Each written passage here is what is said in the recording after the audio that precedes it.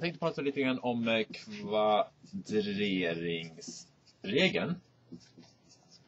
Om man tittar lite, lite grann på det här ordet, kvadrering, så har det något med kvadrat att göra. Kvadratmeter, upphöjt i någonting, två. Upphöjt i två. Eh, och eh, om man då till exempel har ett exempel x plus 3 upphöjt i 2. Då är det här egentligen två stycken parenteser med x plus 3 i sig. x plus 3, sådär. Och då har vi lärt oss från förut att man tar x gånger x, det blir ju x i kvadrat. Och så tar man x gånger 3, det blir ju plus 3x. Och sen 3 gånger x, det blir ju plus 3x.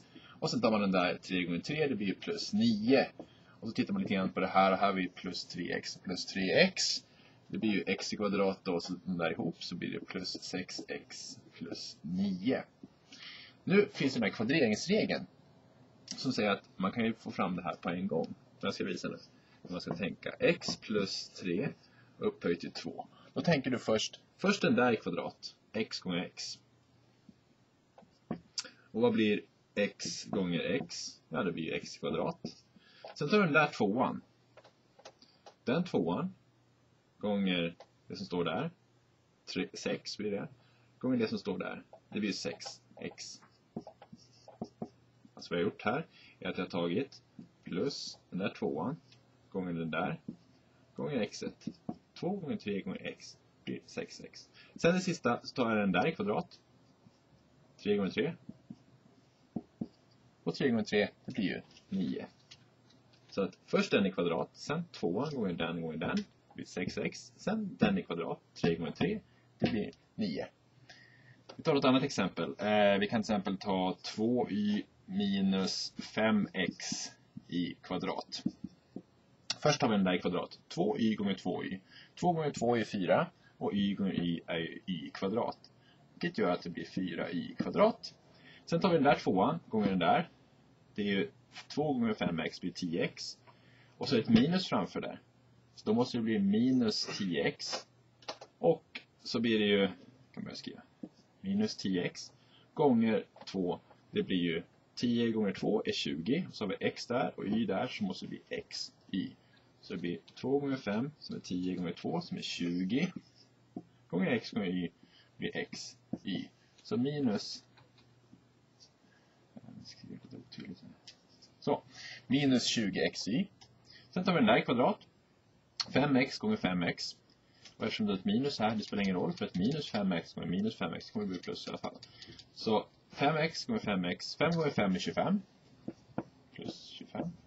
Eh, och x gånger x är x kvadrat.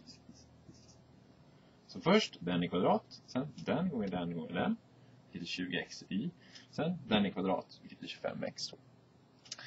Eh, så det är det exemplet. Det är kvadreringsregeln. Om man vill göra det lite mer generellt så står det i formelsamlingen står det så här a plus b i kvadrat är lika med a i kvadrat plus 2, den där tvåan, gånger a gånger b plus den där i kvadrat.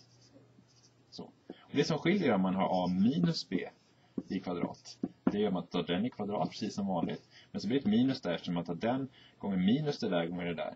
Så blir det ett minus 2ab. Och sen är det här minus gånger minus, det blir plus, så det spelar ingen roll.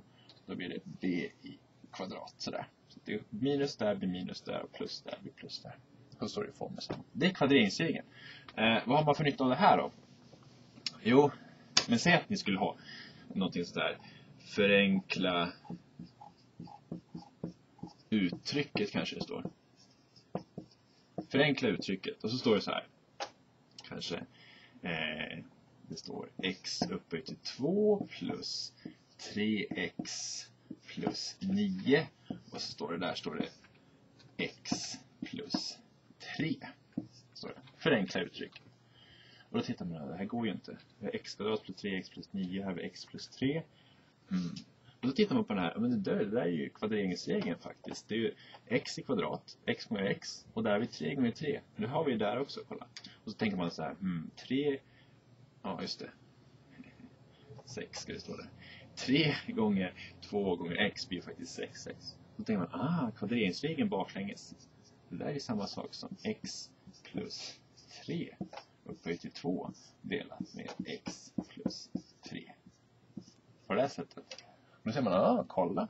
här har vi två stycken x plus 3 och här har vi ett stycken x plus 3. Då kan vi stryka en av dem där. Och då blir det här svaret bara x plus 3. Och det här är en sån här typisk filuruppgift, förenkla uttrycket. Och så har man liksom gjort kvadreringsregeln ska man göra baklänges, från det där till det där. Och så kan man förenkla parentesen. Så det är ett tips.